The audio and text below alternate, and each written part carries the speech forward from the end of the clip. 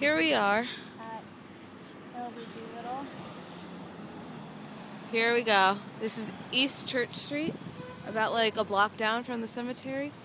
Um, this is where she lived. She lived on this street back in the 1800s, and you know, it looked really different now. Now it's City Hall, but this was um, this was brought about about a hundred years after her birth, in memorial to her.